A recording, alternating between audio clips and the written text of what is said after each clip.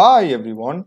In this video I will be showing you how to convert list to tuple in Python. So let's get started. So first let me declare a list. Let L be my list equal to it just have some values as 1 2 3 alright. So for converting into tuple it's really simple. We will be just using the tuple inbuilt function. So let T be my tuple equal to you need to type tuple and within that you need to pass your list variable name which is L in my case and let me just now print t. And let me just now copy this and just paste it. And I will do type of t which basically gives the type of that particular variable. So I'm saving it and running it now.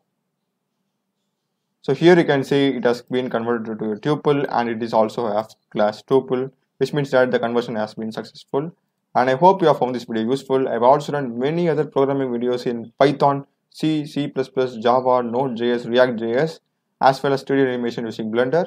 So do check other videos of my channel, subscribe me. Thanks for watching.